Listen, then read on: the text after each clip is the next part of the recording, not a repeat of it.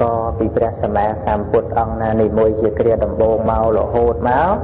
ហើយនឹងមានឈ្មោះថ្មីមួយទៀតហៅថានិយតៈពោធិសត្វណាដោយសេចក្តីថាព្រះពោធិសត្វដែលទៀងតែនឹងបានត្រាស់ដឹងជាព្រះសម្មាសម្ពុទ្ធណា ហើយយើងអាចពិចារណាដល់សេចក្តីខិតខំប្រឹងប្រែងរបស់ព្រះបរមពុរិស័ទនឹងនាំឲ្យពុទ្ធបរិស័ទយើងមានសេចក្តីជ្រះថ្លាណាថ្ងៃនឹងជំរះកាយជំរះវាចាចិត្តគំនិតគិតពិចារណាទៅដល់គុណរបស់ព្រះអង្គឲ្យខុសពីថ្ងៃធម្មតាទាំងការនិយាយស្ដីទៅកាន់អ្នកដទៃណាក៏មានព្រះពុទ្ធ មកជាអារម្មណ៍ហើយយើងអាចចាត់ថាថ្ងៃហ្នឹងគឺជាថ្ងៃរបស់ព្រះពុទ្ធជាបិតារបស់យើងនឹងឲ្យដូចជាយើងធ្វើបុណ្យឧទ្ទិសរំលឹកដល់នរណាម្នាក់ដែលជាទីស្រឡាញ់ពេញចិត្តស្ថិតជាប់ក្នុងទ្រូងអញ្ចឹងណាប៉ុន្តែថាការរលឹកចំពោះព្រះសម្មាសម្ពុទ្ធហ្នឹងវាមានសេចក្តីពិសេស ជាងការរលឹកចំពោះបុគ្គលណាណាទាំងអស់ដូចជានៅក្នុងអនុត្តរិយសូត្រព្រះអង្គសម្ដែងអំពីអនុសតានុត្តរិយៈអនុសតានុត្តរិយៈព្រះអង្គសម្ដែងថាការរលឹកដល់ប្រពន្ធការរលឹកដល់កូនការរលឹកដល់ញាតិមិត្តអាមាត្យឯណានីមួយក្នុងโลกនេះមានមិនមែនថាតថាគតសម្ដែងថាមិនមានទេ ប៉ុន្តែការរលឹកនោះជាការរលឹកថោកថយជាការរលឹកមិនប្រសើរលុះតែបុគ្គលដែលណាបានរលឹកឃើញនៅព្រះសម្មាសម្ពុទ្ធរលឹកឃើញនៅសាវករបស់ព្រះសម្មាសម្ពុទ្ធដែលជាអ្នកភ្ជាប់ជួនទៅដោយសទ្ធាការរលឹកនោះគឺជាការរលឹកដល់ប្រសើរព្រោះប្រព្រឹត្តទៅដើម្បីសេចក្តីស្ងប់ស្ងាត់ដើម្បីសេចក្តីប្រាសចាកតម្រេកប្រព្រឹត្តទៅដើម្បីព្រះនិព្វានហ្នឹង យើងមើលក្នុងការខិតខំប្រឹងប្រែងរបស់ព្រះបរមពុរិស័ទដើម្បីបាននៅសัพពញុត្តញ្ញាណមានបញ្ញាក្នុងការប្រកាសសម្ដែងនៅសច្ចធម៌គឺចំណាយពេលអស់4អសង្ខ័យមួយសែនកាត់បន្តមកទៀតសំបីព្រះបច្ចេកពុទ្ធតែសន្សំបារមីពីអសង្ខ័យមួយសែនកាប់ នឹងគ្រប់ព្រះបច្ចេកពុទ្ធទាំងអស់នឹងមិនអាចប្រកាសសម្ដែងនៅអរិយសច្ចធម៌បានទេនឹងហើយប្រសិនបើគ្រាន់តែដើម្បីរួចចាក់ទុកដោយព្រះអង្គឯងគឺព្រះអង្គត្រូវបានសម្រេច ឃើញនៅមគ្គផលនិព្វានតាំងអំពីសម័យព្រះសម្មាសម្ពុទ្ធទីតាំងកបរិនិព្វានបាត់ទៅហើយប៉ុន្តែថា4អសង្ខ័យមួយសែនកាប់មកទៀតនេះគឺដើម្បីសត្វលោកគ្រប់គ្នាណាសត្វលោកគ្រប់គ្នានឹងនរណាគឺយើងទាំងអស់គ្នានឹងសត្វលោកទាំងអស់គ្នានឹងដែលព្រះអង្គទ្រង់មានមេត្តាករុណាចំពោះហើយ សូមឲ្យពុទ្ធបរិស័ទនឹងបានដឹងនៅគោលបំណងរបស់ព្រះបរមពុរិស័ទដែលខិតខំសន្សំបារមីដោយចរិយា3មហាបរិច្ចាគ5និងពុទ្ធការកៈធัวផ្សេងផ្សេងមានទានសិលភាវនានៃខមៈទានសិលនៃខមៈបញ្ញាវិរិយៈខន្តីសច្ចៈមេត្តាទិដ្ឋានុបេក្ខា ដូចជាពុទ្ធការកៈធัวបន្តមក4អសង្ខ័យទៀតហ្នឹងគឺដើម្បីយើងគ្រប់គ្នាដល់យើងពិចារណាអញ្ចឹងបានយើងត្រេកអរទទួលនៅអវាទរបស់ព្រះសម្មាសម្ពុទ្ធដែលជាមរតករបស់ព្រះអង្គដ៏ប្រសើរគឺអវាទានុសាសដីពាក្យព្រានបដៅនឹងឯងនឹងដូចជាគ្រាការដែលព្រះអង្គទ្រង់ត្រាស់ដឹងដំបូងលាមកអរតនីឲ្យព្រះអង្គបរិនិព្វានអញ្ចឹងណានៅមុនសម្ដែងនៅ ព្រះបាសិកាអូតផលសូផលីណាអំពីរឿងហ្នឹងណាដែលព្រះអង្គមិនព្រមបរិនិព្វានតាំងពីពេលដែលត្រាស់ដឹងដំបូងហ្នឹងមកអំពីចំណុច4យ៉ាងវាមិនតាន់គ្រប់ណា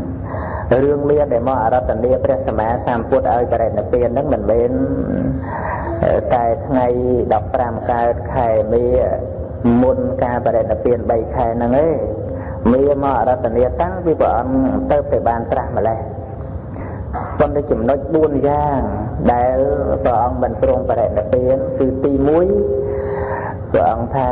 តារាបណាភិក្ខុភិក្ខុនីឧបាសកឧបាសិកាដូចជាសាវករបស់តថាគតនឹងមិនទាន់បានរៀននៅព្រះបរិយត្តិធម៌នឹងឲ្យបានសពគ្រប់ណាមិនទាន់ចេះនៅធัวដែលជា ដំណោះស្រាយជីវិតនឹងឲ្យបានច្បាស់លាស់ព្រះអង្គមិនតាន់បរិនិព្វានទេទី1គឺពុទ្ធបរិស័ទមិនតាន់ចេះធัวនឹងឯងហ្នឹងដែលព្រះអង្គមិនព្រមបរិនិព្វានណាគឺព្រះអង្គមានបជនតមកទៀតប្រព្រឹត្តពុទ្ធកិច្ច45ប្រវត្តិសាតមកទៀតហ្នឹងគឺដោយសារពុទ្ធបរិស័ទទាំង4ហ្នឹងមិនតាន់បានចេះដឹងនៅព្រះធម៌ឲ្យបានសពគ្រប់ប្រការទី2គឺមិនតាន់បានប្រតិបត្តិដោយល្អ ណាហ្នឹងហើយតែពុទ្ធបរិស័ទមិនតាន់បានប្រតិបត្តិធម៌ដោយល្អដើម្បីឲ្យរួចចាកផុតទុក្ខដោយខ្លួនឯងក៏ព្រះអង្គមិនតាន់បរិនិព្វាន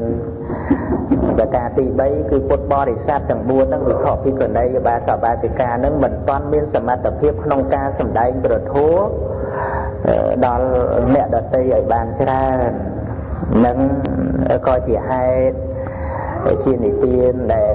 មិនឲ្យព្រះអង្គបរិនិព្វាន ប្រការទី4បរិស័ទទាំង4គឺភិក្ខុនីភិក្ខុឧបាសកបាសិកានឹងមិនទាន់អាចដើម្បីសង្កត់សង្កិននៅបរពវេទបានដោយប្រការណាតថាគតក៏មិនទាន់បរិនិព្វានដោយប្រការនោះគឺថាមិនទាន់អាចដោះស្រាយរងាប់ទៅនៅបរពវេទគឺវាទៈពាក្យសម្ដីដែលខ្ទាស់ទៅនឹងធម៌និងវិន័យរបស់ព្រះសម្មាសម្ពុទ្ធ គឺអាចដោះស្រាយដណ្ដាចោតឡើងដែលខុសពីធัวខុសពីវិន័យឬក៏មានពាក្យយ៉ាងណាដែលមួយបង្កាច់មកពុទ្ធសាសនាមិនតាន់អាចដោះស្រាយតាមធัวតាមវិន័យបានដរាបណាព្រះអង្គមិនតាន់បរិនិព្វានដូច្នេះកិច្ចសុវត្ថរបស់ព្រះអង្គពុទ្ធកិច្ចរបស់ព្រះអង្គ45ប្រវត្តិសាហ្នឹងគឺគឺ ការចែកចាយនៅធម្មទានដល់ពុទ្ធបរិស័ទនឹងឯងហើយដែលអាចធ្វើយ៉ាងនឹងបាននោះគឺចំណាយ4អសង្ខ័យមួយសែនកាប់មកទៀតចាប់អំពីសម្បេតបណ្ឌិតមកនឹងឯងហ្នឹងបើយើងឧស្សាហ៍ពិចារណាចឹងមកតើយើងបង្ហើយកន្តើយទៅនឹងធម៌វិន័យរបស់ព្រះអង្គយ៉ាងណាទៅដែលព្រះធម៌វិន័យនឹងយូរយូរទៅកើតឡើងម្ដងនៅក្នុងលោកហ្នឹងណាយើងណា អាចពិចារណាទៅដល់សភាពក្រនៅក្នុងលោកនេះក្រទ្របក្រសម្បត្តិមិនជាប្រមាណទៅទេប៉ុន្តែខ្វះធัวខ្វះអវាទពាក្យព្រៀងកដៅរបស់អ្នកភ្នាក់អំពីតម្លៃគឺអវិជ្ជានឹងក្រក្រៃលែងមិនដឹងថាតើព្រៀបទៅនឹងរបស់អីឲ្យវាស័កសមទៅនឹងថាជារបស់ក្រណានឹងប្រការទី1ជាថ្ងៃដែល ព្រះសម្មាសម្ពុទ្ធជាកសម្បេតបណ្ឌិតគឺថ្ងៃ15កើតខែវិសាខនឹងឯងហ្នឹងហើយថ្ងៃមួយទៀតដែលយើងគួររលឹកនឹកឃើញគឺថ្ងៃដែលព្រះបរមគ្រូជាម្ចាស់ទ្រង់ប្រសូតណាទ្រង់ប្រសូតហ្នឹងក៏ថ្ងៃពេញបរមីខែពិសាហ្នឹងណាញាតិញោមអាច បន្ទិញឲ្យចាំណាគោលសំខាន់សំខាន់យើងអាចសរសេរអក្សរកាត់សរសេរអក្សរកាត់ចុះរោអាព្រោចុះហ្នឹងចុះចាប់បដិសន្ធិរោហ្នឹងឆ្នាំរកាអាហ្នឹងអាសាទព្រោហ្នឹងបរោះហើយបរោះចុះរោអាព្រោប្រចពិសុប្រហ្នឹងប្រសោតចហ្នឹងឆ្នាំច ពីហ្នឹងពិសាសុហ្នឹងថ្ងៃសុកចុះរកអាប្រប្រចពិសុពេលឆ្លៅអាសៅបួសថោះអាប្រយកទៅចេញទៅបួសថ្ងៃឆ្នាំថោះអាហ្នឹងអាសាទព្រោះហ្នឹងប្រហោះពេញបរមីសិតតែពេញបរមីណាថ្ងៃប្រសូតហ្នឹងក៏ជាថ្ងៃមួយដែលយើងគួររលឹកនឹកឃើញ កូនចៅយើងតូចដល់ថ្ងៃហ្នឹងក៏យើងធ្វើបុណ្យកំណើតប៉ុន្តែសេចក្តីអស្ចារ្យនៃការប្រសូតរបស់ព្រះសម្មាសម្ពុទ្ធហ្នឹងគឺជាគុណមួយនឹកដែលធ្វើឲ្យយើងនឹកឃើញទៅវិញអ្វីត្បិតថាការកើតឡើងនៃខណ្ឌហ្នឹងគឺជាការកើតឡើងនៃទុក្ខណា ដែលជាតិគឺការកើតឡើងហ្នឹងនៅក្នុងធម្មចក្រប្រវត្តិនសូត្រព្រះអង្គសម្ដែងហើយថាជាតិបិទុក្ខាជារាបិទុក្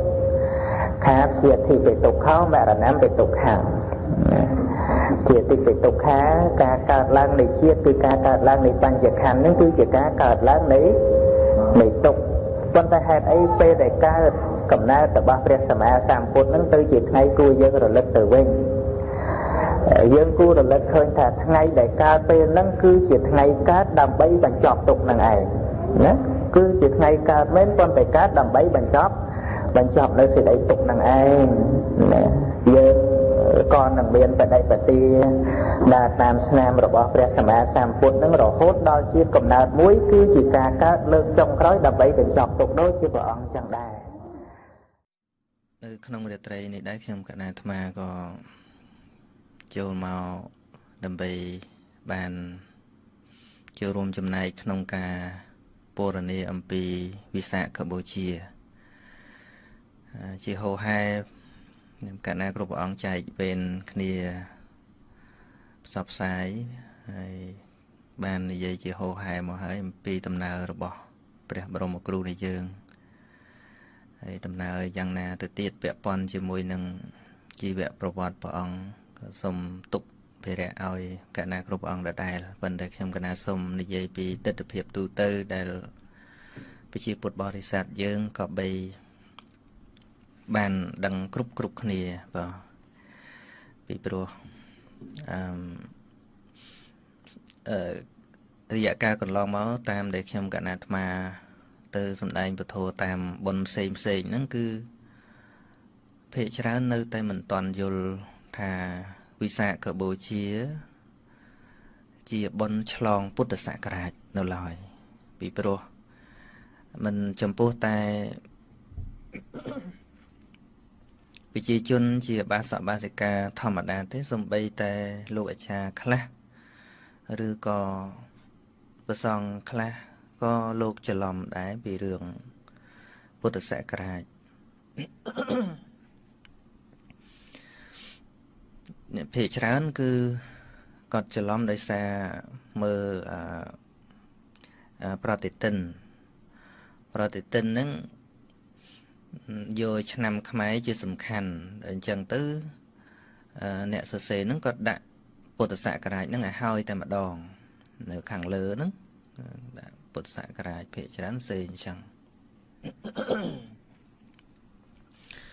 ឬក៏ចំណងជើងសិភៅហ្នឹងដាក់ពុទ្ធសករាជថ្មីតែម្ដងប៉ុន្តែមិនមែនបានន័យថាគាត់មិនចេះទេប៉ុន្តែបើកាលណាសរសេរពីរដងវាមិនកើតប្រតិទិនហ្នឹងមួយឆ្នាំត្រូវចេញម្ដងអញ្ចឹងត្រូវដាក់សករាជថ្មីហ្នឹងឲ្យហើយអឺនៅពេលណាដែលយើងនិយាយថ្ងៃខ្មែរយើងយើងតែនិយាយភ្ជាប់ជាមួយនឹងស័កស័កដូចជាសម្បត្តិស័ក ឬក៏អត្តស័កឬក៏ចាត់ថ្វាស័កអីចឹងទៅរឿងស័កហ្នឹងគឺជាស័កឆ្នាំខ្មែរមិនពាក់ព័ន្ធជាមួយនឹងពុទ្ធសាសនាទេនៅពេលចូលឆ្នាំហ្នឹងគឺមានថ្ងៃវរៈវណ្ណបតមានថ្ងៃឡើងស័កអីហ្នឹងគឺថាជាការឆ្លងសក្ការៈឆ្លងស័កសំទោសឆ្លងស័កជាឆ្នាំខ្មែរពីចាត់ថ្វាស័កទៅបញ្ញស័ក ទៅឆស័កទៅជាសព្ទស័កទៅជាអត្តស័កហ្នឹងគឺអឺឆ្លងនៅចូលឆ្នាំខ្មែរប៉ុន្តែដោយឡែកពុទ្ធសករាជមិនឆ្លងនៅពេលចូលឆ្នាំខ្មែរទេ គឺឆ្លងនៅវិសាខបូជាហើយភាពខុសប្លែកគ្នារវាងអឺការរាប់សក្ការៈនៃពុទ្ធសាសនានិងសាសនាដទៃខ្លះមាន លក្ខណៈខុសគ្នាត្រង់ថាអឺសាសនាដទៃខ្លះគេរាប់ចាប់តាំងពីកំណើតរបស់ព្រះគេកើតឡើងប៉ុន្តែដោយឡែកនៅក្នុងពុទ្ធសាសនានេះយើង គឺរាប់ចាប់តាំងពីថ្ងៃដែលព្រះអង្គបរិនិព្វានណាចាប់ពី100ព្រះអង្គបរិនិព្វានថ្ងៃពេញបរមីខែពិសាប៉ុន្តែរាប់ជាសក្ការៈមិនរាប់យក ថ្ងៃពេញបោនឹងតែម្ដងទេ គឺរាប់យកថ្ងៃ100អញ្ចឹង នៅពេលដែល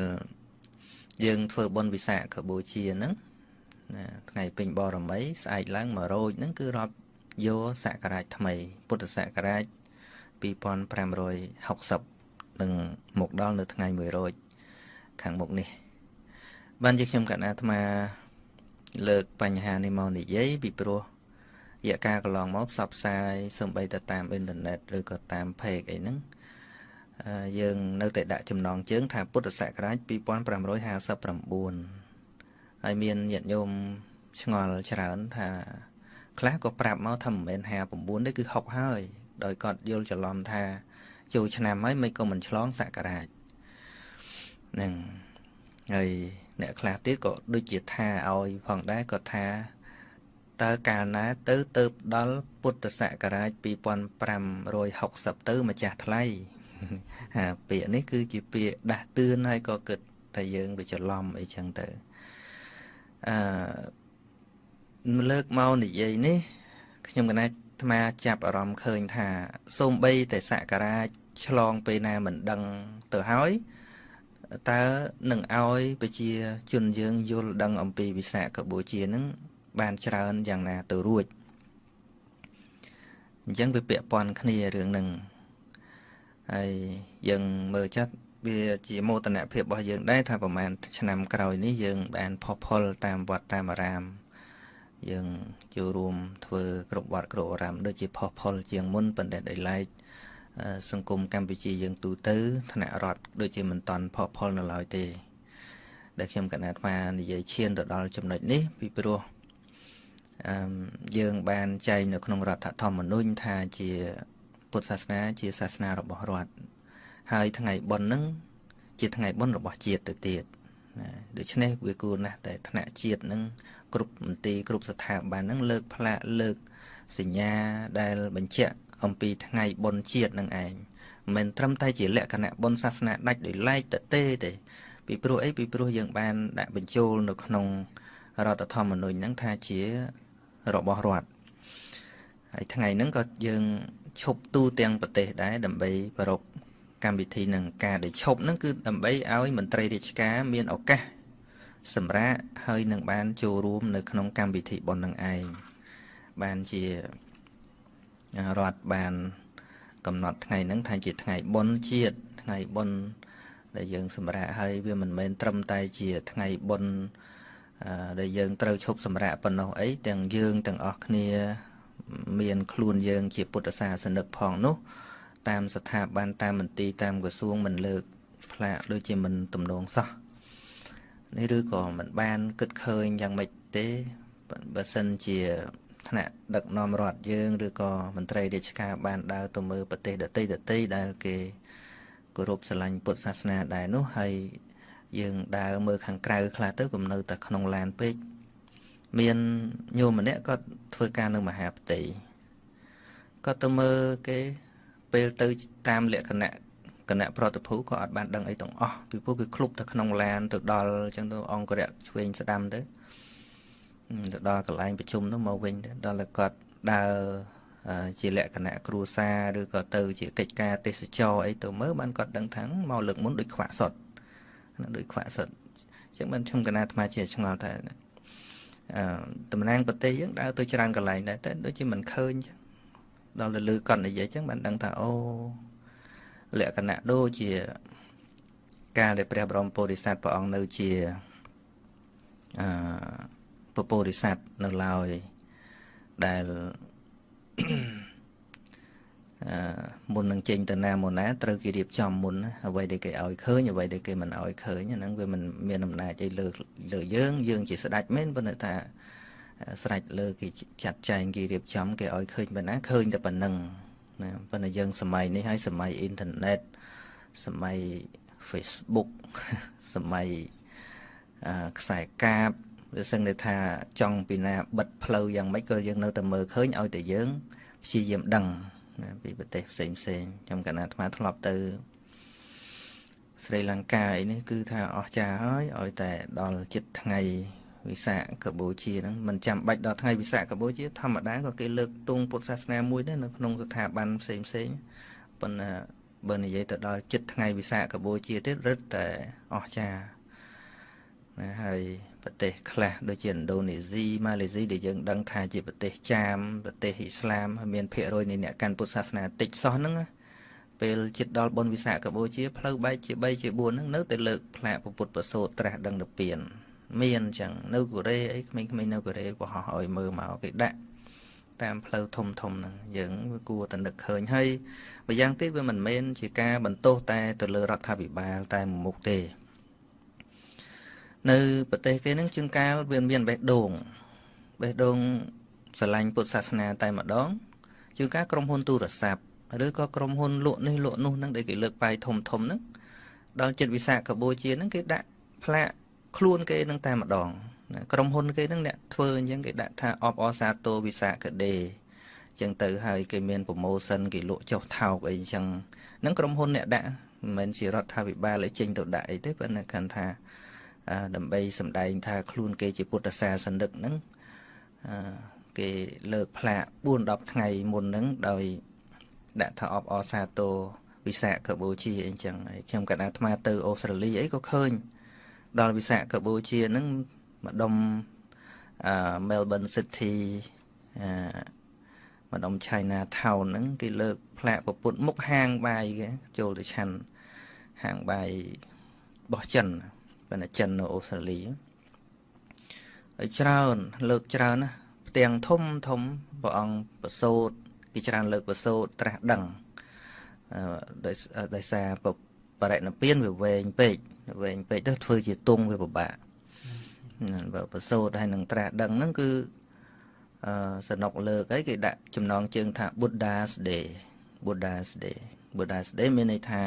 ជាថ្ងៃពុទ្ធ លើកកន្លះខែអីចឹងនឹងចឹងអឺខ្ញុំណែចង់និយាយមកវិញថាចេះថាមិនក៏ចេះតែលើកពីនេះពីនោះទៅទេមកពីយើងវាមិនដឹងជួនកាលបើមិនលើកចឹងខ្លះទេញាតិញោមខ្លះហ្នឹងខ្មែរយើងហ្នឹងឃើញខ្ញុំកណាអាត្មាជាមួយកណាគ្រប់ព្រះអង្គហែអីក៏ក្រឹកក៏ក្រែងអីអញ្ចឹងហ្នឹងទៅជាចម្លែកក្នុងចិត្តអដុងទៅធ្វើអីអញ្ចឹងអីណាហឹមអឺយើងមើលមើលដូចមនុស្សម៉ុងហ្គូលីដូចជាអឺ គេបង្ហោះគោមរាប់ពាន់រាប់ម៉ឺនគោមថ្ងៃហ្នឹងគេមិនទំបានដាក់ថាពុទ្ធសាសនាជាសាសនារបស់រដ្ឋផងប៉ុន្តែគេយល់ថាជាសាសនារបស់ពិភពលោក ជាសាសនាសន្តិភាពអញ្ចឹងគេដាក់ថាជាជាថ្ងៃសន្តិភាពនៃលោកគេដាក់អញ្ចឹងទៅទៀតផង អ្វីត្បិតថាគេមិនបានបញ្ចូលទៅនៅក្នុងរដ្ឋធម្មនុញ្ញប៉ុន្តែគេយល់អំពីមេគីរបស់ព្រះសម្មាសម្ពុទ្ធនឹងដឹកនាំមនុស្សដោយប្រកាន់គោលអហិង្សា មានសុខសន្តិភាពផ្លូវចិត្តចឹងហើយមនុស្សនៅក្នុងពិភពលោកត្រូវការណាស់អានោះគេបង្កើតអង្គការសហប្រជាជាតិក្តី បង្កើតពេទ្យចិត្តសាស្ត្រក្តីឬក៏អឺកម្មវិធី ដោះស្រាយវិបត្តិផ្លូវចិត្តក្តីហ្នឹងគឺគឺដើម្បីដោះស្រាយវិបត្តិរបស់មនុស្សហ្នឹងហើយដល់ទៅពុទ្ធសាសនា ដឹកនាំនៅនៅមេគាដែលនាំឲ្យមនុស្សបង្កើតនៅមេត្រី បង្កើតនៅមេត្តាបង្កើតនៅអហិង្សានៅក្នុងចិត្តចឹងទៅសូម្បីតែអង្គការសហជីវជាតិហ្នឹងក៏ទទួលស្គាល់ជាផ្លូវការតែម្ដងណាហើយជាថ្ងៃ International Day ដាក់ចឹងតែម្ដង ណាថ្ងៃវិសាខបូជាហ្នឹងមានឈ្មោះថាជា International Day គឺជាថ្ងៃអន្តរជាតិមិនមែនជា national ទេមិនមែនជាថ្នាក់ជាតិទេគឺថ្នាក់អន្តរជាតិគឺប្រទេសច្រើនណាស់ចូលរួមរាប់សិបប្រទេស ពេលដែលគេធ្វើធំឆ្នាំនេះអង្គការសហជីវជាតិគេធ្វើនៅអាមេរិកឃើញបារ៉ាអូបាម៉ាក៏ចេញលិខិតអបអរសាទរថ្ងៃវិសាខបូជាដែរណាគឺផ្អើលទៅដល់មេដឹកនាំពិភពលោកទៅហើយទទួលស្គាល់ថា ពិតជាមេគាដ៏ប្រសើរដែលក៏បីតែលើកតម្កើង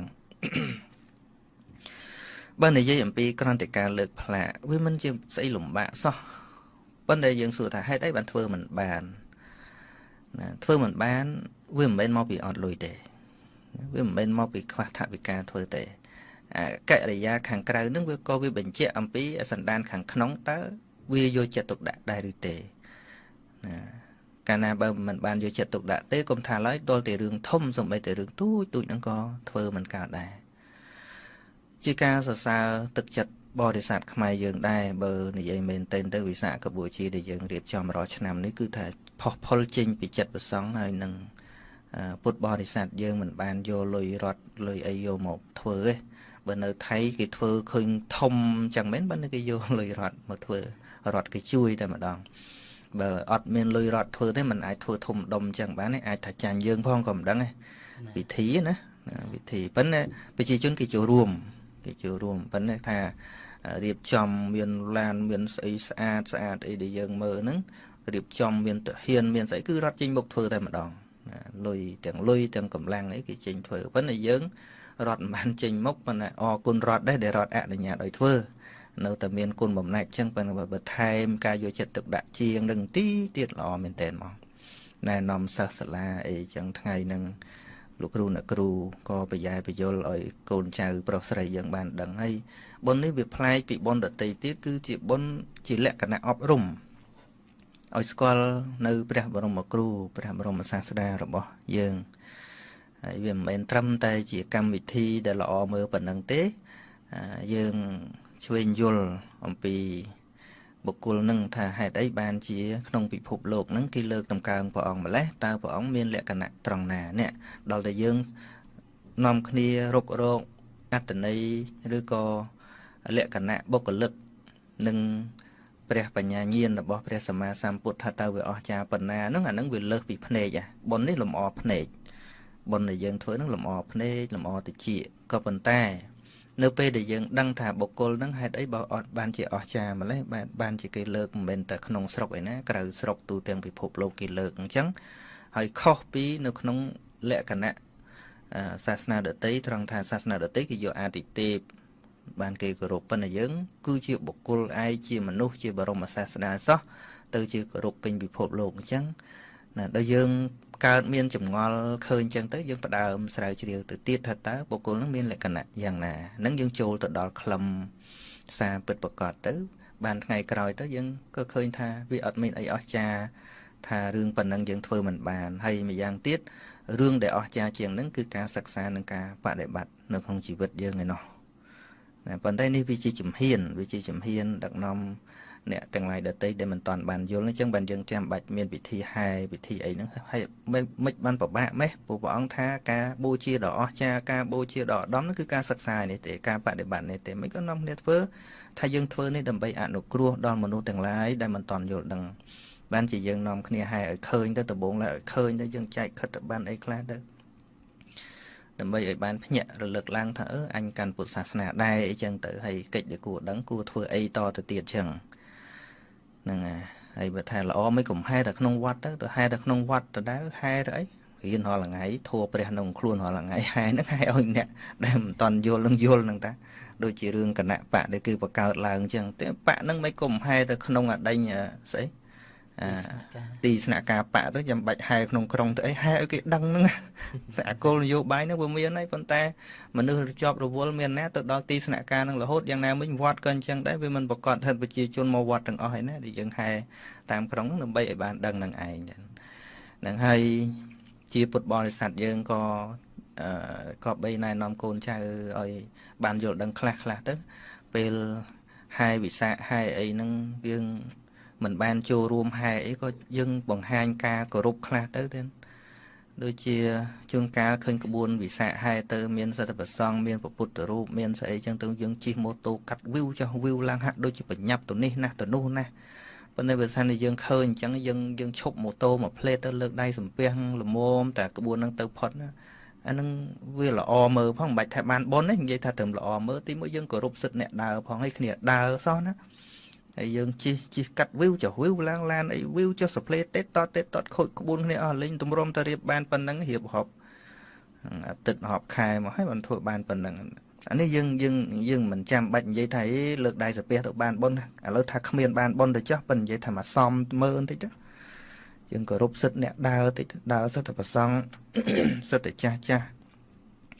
ណាបែកញើសហូរក្តៅទៅយើងគ្រាន់តែគោរពតន្តិចប៉ុណ្ណឹងយើងឲ្យឱកាសតន្តិចប៉ុណ្ណឹងអត់ប្រជែងទៅថ្ងៃមុនទៅហែនៅសម្ដេចជឿណាតនៅសៀមរាបចឹងដែរខំដើររាប់គីឡូអាត្មាដើររហូតដែរហ្នឹងនិយាយពីម៉ូតូបជ្រៀតវីវចុះវីវឡើងវីវចុះវីវឡើងដូចលហន់ទៅរមកឈូសមិនដឹងទេណាមកទោសនិយាយធ្ងន់បន្តិចហ្នឹងបើគាត់ថាអីក៏អត់មកយិតម៉េះអីក៏ គ្មានចេះគោរពសិទ្ធអ្នកដើរអីបន្តិចសោះអញ្ចឹងឥឡូវយើងមិនបាច់គិតថាវាបាបវាអីទេបើគាត់ថាយើងគាត់តែផ្អាកផ្លេតហ្នឹងវាស្លាប់អីដើម្បីឲ្យក្បួនដូចគ្នាខំរៀបឲ្យបានល្អមើលផងហើយគ្នាក្នុងនាមយើងជាអ្នកកាន់ពុទ្ធសាសនាផងហើយប៉ុណ្ណឹងយើងធ្វើមិនបានឬក៏មកពីអាត្មាមិនដែលប្រាប់ក៏មិនដឹងកណាដតីទេសនាមិនដែលបញ្យលនាំនេះបញ្យលរឿងហ្នឹងតិចតិចតិចតិចអានឹងជាការផ្ដើមញាតញោមប្រាប់កូនចៅបើមិនបានមកវត្តទេគ្រាន់ប្រាប់ចឹងទៅ ឃើញពិធីអីទាំងហែព្រះទាំងហែអីហ្នឹងយើងកុំបជ្រៀតកុំអីបញ្ញាបញ្ញាប់អីយើងឲ្យផ្លូវបន្តិចទៅការគោរពគ្នានឹងអីដែលនាំឲ្យអាយុវែងនោះក្នុងឱកាសពេលវេលាដែលយើងធ្វើវិក្ខកបុជាថ្វាយនៅគ្រឿងប្រទីបឬក៏ផ្កាភ្ញីផ្សេងផ្សេងហ្នឹងព្រះសម្មាសម្ពុទ្ធជាអង្គម្ចាស់ព្រះអង្គមិនបានទៀមទាពីពុទ្ធបរិស័ទគ្រប់គ្នាឡើយ ដូចជាពពួកញាតិផ្សេងផ្សេងដែលត្រូវការបន់ឲ្យយើងឧទ្ទិសឲ្យណាប៉ុន្តែចំពោះការនឹករលឹកចំពោះប្រគុណរបស់ព្រះសម្មាសម្ពុទ្ធក៏គឺជាការសម្ដែងនៅភក្តីភាពរបស់ពុទ្ធបរិស័ទដែលតែងតែគោរពព្រះសាស្តាជានិច្ចតរៀងមកណា ហើយថ្ងៃវិសាខបូជានេះមានថ្ងៃពិសេសច្រើនយ៉ាងដែលយើងក៏បីរលឹកនឹកឃើញណាមានពិសេសពិសេសហ្នឹងដល់ទៅ7យ៉ាងណាប្រការទី1គឺរលឹកទៅដល់ថ្ងៃដែលព្រះបរមពុរិស័ទជាម្ចាស់នៃយើងបានទទួលការព្យាករ អំពីសំណាក់នៃព្រះសម្មាសម្ពុទ្ធពីបង្កដល់កាលពី4អសង្ខ័យមួយសែនកាប់មុននោះនឹងដែលមានឈ្មោះថាជានិយតពុរិស័ទព្រោះមុននឹងបានទទួលការព្យាករពីព្រះសម្មាសម្ពុទ្ធទីបង្កក៏ព្រះអង្គសន្សំបារមីអស់ កាលជាងវែងមកហើយរហូតដល់ទៅ16អសង្ខ័យរួចស្រេចហើយណានឹងព្រះបរមពុរិស័ទដែលជាអតីតកាលរបស់ព្រះសម្មាសម្ពុទ្ធសមណគោដមនៃយើងចឹងហើយបានជាព្រះបរមពុរិស័ទនឹងមានឈ្មោះពីរមួយហៅថាអនិយតពុរិស័ទ អនិយតពុរិស័ទគឺព្រះពុរិស័ទដែលមិនបានការទទួលព្យាករពីព្រះសម្មាសម្ពុទ្ធណាមួយជាពុរិស័ទដែរប៉ុន្តែថាមិនតន់ទៀងមិនតន់ប្រកាសថានឹងត្រាស់ដឹងនៅឡើយណាហើយចាប់ពីបានទទួលការព្យាករពីព្រះសម្មាសម្ពុទ្ធអង្គណានីមួយជាគ្រាដំបូងមករហូតមកហើយនឹងមានឈ្មោះថ្មីមួយទៀតហៅថានិយត ពុរិស័ទណាដោយសេចក្តីថាព្រះពុរិស័ទដែលទៀងតែនឹងបានត្រាស់ដឹងជាព្រះសម្មាសម្ពុទ្ធណាហើយយើងអាចពិចារណាដល់សេចក្តីខិតខំប្រឹងប្រែងរបស់ព្រះបរមពុរិស័ទនឹងនាំឲ្យពុទ្ធបរិស័ទយើងមានសេចក្តីជ្រះថ្លាណាថ្ងៃនឹងជំរះកាយជំរះវាចាចិត្តកំណត់ គិតពិចារណាទៅដល់គុណរបស់ព្រះអង្គឲ្យខុសពីថ្ងៃធម្មតាទាំងការនិយាយស្ដីទៅកាន់អ្នកដទៃណាក៏មានព្រះពុទ្ធមកជាអារម្មណ៍ហើយយើងអាចចាត់ថាថ្ងៃហ្នឹងគឺជាថ្ងៃរបស់ព្រះពុទ្ធជាបិតារបស់យើងនឹងឲ្យដូចជាយើងធ្វើបុណ្យឧទ្ទិសរំលឹកដល់នរណាម្នាក់ដែលជាទីស្រឡាញ់ពេញចិត្ត ស្ថិតជាប់ក្នុងទ្រូងអញ្ចឹងណាប៉ុន្តែថាការរលឹកចំពោះព្រះសម្មាសម្ពុទ្ធហ្នឹងវាមានសេចក្តីពិសេសជាងការរលឹកចំពោះបុគ្គលណាណាទាំងអស់ដូចជានៅក្នុងអនុត្តរិយសូត្រព្រះអង្គសម្ដែងអំពីអនុសតានុត្តរិយៈអនុសតានុត្តរិយៈព្រះអង្គសម្ដែងថា ការរលឹកដល់ប្រពន្ធការរលឹកដល់កូនការរលឹកដល់ញាតិមិត្តអាមាត្យឯណានីមួយក្នុងโลกនេះមានមិនមែនថាតថាគតសំដែងថាមិនមានទេ ប៉ុន្តែការរលឹកនោះជាការរលឹកថោកថយជាការរលឹកមិនប្រសើរលុះតែបុគ្គលដែលណាបានរលឹកឃើញនៅព្រះសម្មាសម្ពុទ្ធរលឹកឃើញនៅសាវករបស់ព្រះសម្មាសម្ពុទ្ធដែលជាអ្នកភ្ជាប់ជួនទៅដោយសទ្ធាការរលឹកនោះ គឺជាការរលឹកដល់ប្រសើរព្រោះប្រព្រឹត្តទៅដើម្បីសេចក្តីស្ងប់ស្ងាត់ដើម្បីសេចក្តីប្រាសចាកតម្រេកប្រព្រឹត្តទៅដើម្បីព្រះនិព្វានហ្នឹងយើងមើល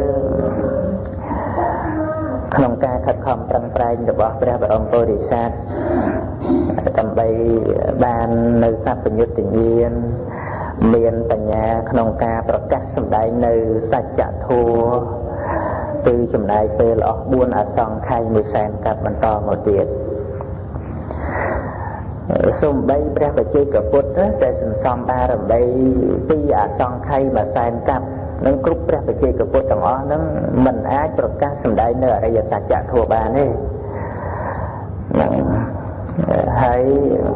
ប្រសិនបើគ្រាន់តែដើម្បីរួចចាក់ទុកដោយព្រះអង្គឯងគឺព្រះអង្គត្រូវបានសម្រេច ឃើញ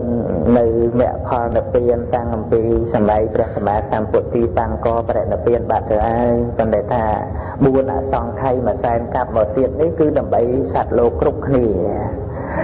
ណាសត្វលោកគ្រប់គ្នានឹងនរណាគឺយើងទាំងអស់គ្នានឹងសត្វលោកទាំងអស់គ្នានឹងដែលព្រះអង្គទ្រង់មានមេត្តាករុណាចំពោះហើយ សម្ពុទ្ធបរិស័ទនឹងបានដឹងនៅគោលបំណងរបស់ព្រះបរមពុរិស័ទដែលខិតខំសន្សំបារមីដោយចរិយា3មហាបរិច្ចាគ5និងពុទ្ធការកៈធัวផ្សេងផ្សេងមានទានសិលភាវនាមេខមៈទានសិលមេខមៈបញ្ញាវិរិយៈខន្តីសច្ចៈមេត្តាទិដ្ឋានុបេក្ខា នេះជាពុទ្ធការកៈធัวបន្តមក4អសង្ខ័យទៀតហ្នឹងគឺដើម្បីយើងគ្រប់គ្នាដល់យើងពិចារណាអញ្ចឹងបាទយើងត្រេកអរទទួលនៅអវាទរបស់ព្រះសម្មាសម្ពុទ្ធដែលជាមរតករបស់ព្រះអង្គដ៏ប្រសើរគឺអវាទានុសាសដីពាក្យព្រានបដៅនឹងឯងនឹងដូចជាគ្រាការដែលព្រះអង្គទ្រង់ត្រាស់ដឹងដំបូងលាមកអរតនីឲ្យព្រះអង្គបរិនិព្វានអញ្ចឹងណានៅមុនសម្ដែងនៅ ផ្ទះបាសិកាអូតផលសូផលីណាពីរឿងហ្នឹងណាដែលព្រះអង្គមិនព្រមបរិនិព្វានតាំងពីពេលដែលត្រាស់ដឹងដំបូងហ្នឹងមកអំពីចំណុច4យ៉ាងវាមិនតាន់គ្រប់ណារឿងមានដែលមកអរតនីព្រះសម្មាសម្ពុទ្ធឲ្យបរិនិព្វានហ្នឹងមិនមែនតែថ្ងៃ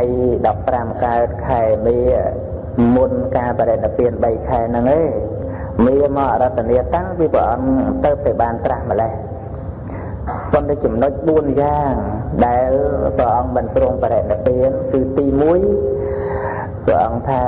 តារាបណាភិក្ខុភិក្ខុនីឧបាសកឧបាសិកាដែលជាសាវករបស់តថាគតនឹងមិនទាន់បានរៀននៅ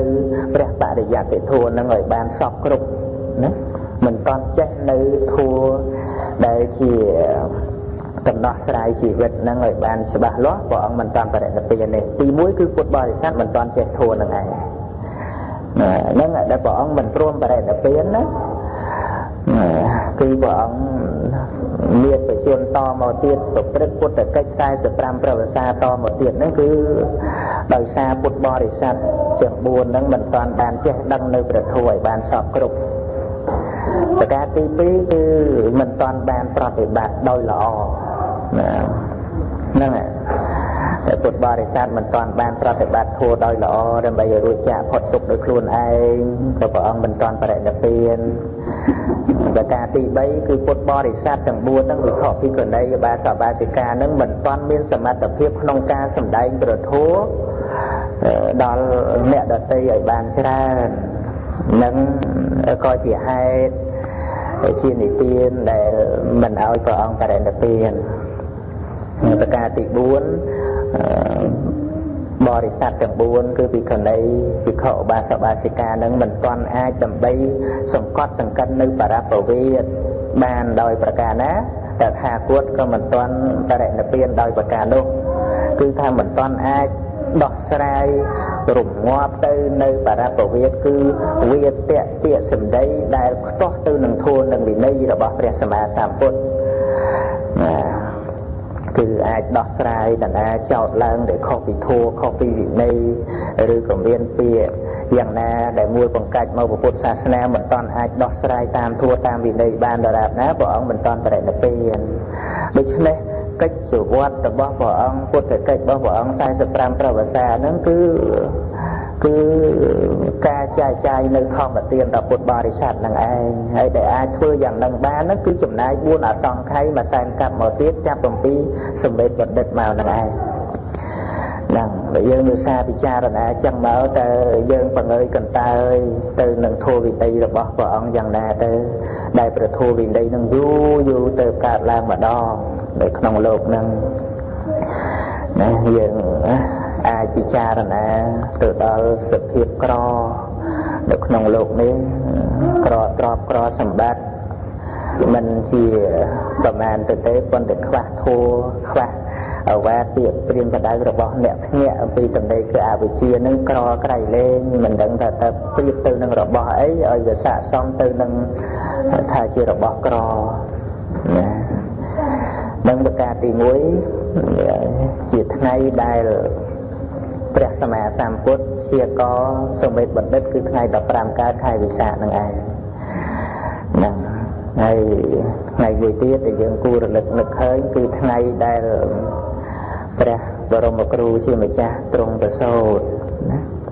ទ្រង់ប្រសូតហ្នឹងក៏ថ្ងៃពេញបរមីខែពិសាហ្នឹងណាញាតិញោមអាច បន្ទិញឲ្យចាំណាគោលសំខាន់សំខាន់យើងអាចសរសេរអក្សរកាត់សរសេរអក្សរកាត់ចុះរោអាព្រោចុះហ្នឹងចុះចាប់បដិសន្ធិរោហ្នឹងឆ្នាំរកាអាហ្នឹងអាសាទព្រោហ្នឹងបហោះហើយបហោះនៅចុះរោអាព្រោប្រចពិសុប្រហ្នឹងប្រសោតចហ្នឹងឆ្នាំច ពីហ្នឹងពិសាសុហ្នឹងថ្ងៃសុកចុះរោអាព្រោប្រចពិសុពេលឆ្លៅអាសៅបួសថោះអាប្រូយកទៅជិះទៅបួសថ្ងៃឆ្នាំថោះអាហ្នឹងអាសាទព្រោះហ្នឹងប្រហោះពេញបរមីសិតតែពេញបរមីហ្នឹងថ្ងៃប្រសូតហ្នឹងក៏ជាថ្ងៃមួយដែលយើងគួររលឹកនឹកឃើញ កូនចៅយើងតូចដល់ថ្ងៃហ្នឹងក៏យើងធ្វើបុណ្យកំណើតប៉ុន្តែសេចក្តីអស្ចារ្យនៃការប្រសូតរបស់ព្រះសម្មាសម្ពុទ្ធហ្នឹងគឺជាគុណមួយនឹកដែលធ្វើឲ្យយើងនឹកឃើញទៅវិញអ្វីត្បិតថាការកើតឡើងនៃខណ្ឌហ្នឹងគឺជាការកើតឡើងនៃទុក្ខណា ដែលជាតេគឺការកើតឡើងហ្នឹងនៅក្នុងធម្មចក្រកបវត្តនសោតព្រះអង្គសម្ដែងឲ្យថាជាតេបិទុក្ខាជារាបិទុក្ខខាជាធិបិទុក្ខោមរណំបិទុក្ខាជាតិបិទុក្ខាការកើតឡើងនៃជាតិគឺការកើតឡើងនៃបញ្ញខណ្ឌហ្នឹងគឺជាការកើតឡើងនៃនៃទុក្ខប៉ុន្តែហេតុអីពេលដែលកើតកំណើតរបស់ព្រះសម្មាសម្ពុទ្ធហ្នឹងទៅជាថ្ងៃគួរយើងរលឹកទៅវិញ យើងគួររលឹកឃើញថាថ្ងៃដែលកើតពេលហ្នឹងគឺជាថ្ងៃកើតដើម្បីបញ្ចប់ទុកនឹងឯងណាគឺជាថ្ងៃកើតមែនប៉ុន្តែកើតដើម្បីបញ្ចប់បញ្ចប់នៅសេចក្តីទុកនឹងឯងណាយើងក៏នឹងមានបដិបទាដើរតាមស្នាមរបស់ព្រះសម្មាសម្ពុទ្ធនឹងរហូតដល់ជាតិកំណើតមួយគឺជាការកើតលើកចុងក្រោយដើម្បីបញ្ចប់ទុកដូចជាព្រះអង្គចឹងដែរ